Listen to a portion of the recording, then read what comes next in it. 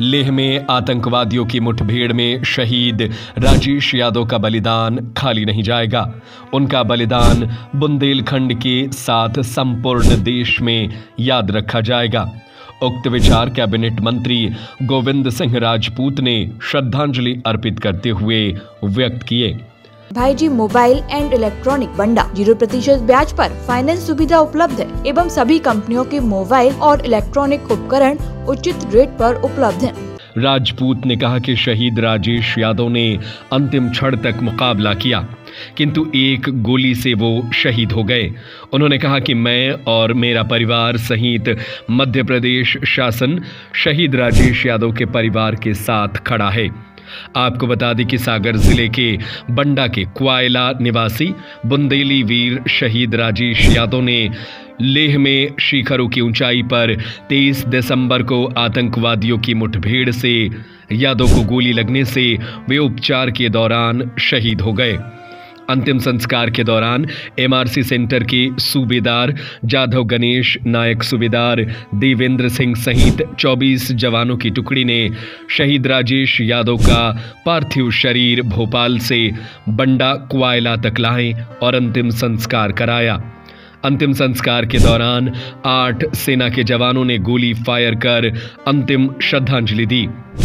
शहीद राजेश यादव के परिवार में पिता काशीराम, माता रामकली, भाई सुरेश, पत्नी मुन्नी बाई पुत्री दिव्यांशी एवं बेटा अंश सहित भरा पूरा परिवार है।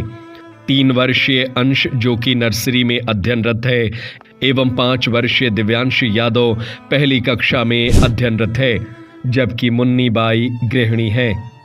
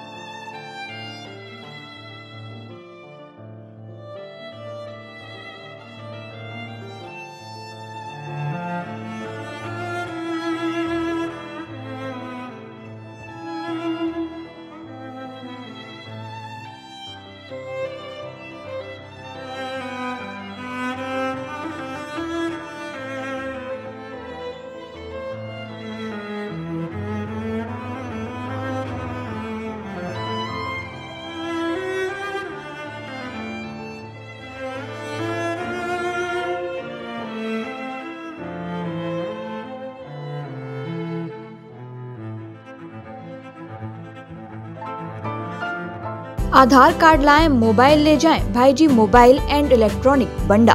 Zero प्रतिशत ब्याज पर फाइनेंस सुविधा उपलब्ध है। Laptop fridge cooler washing machine TV AC water cooler पंखा मिक्सी एवं सभी कंपनियों के मोबाइल और इलेक्ट्रॉनिक उपकरण उचित रेट पर उपलब्ध हैं। हमारा पता है, गांधी मूर्ति के सामने मेन रोड बंडा, जिला सागर, मध्य प्रदेश। हमारा नंबर है eight seven one nine zero zero two five seven seven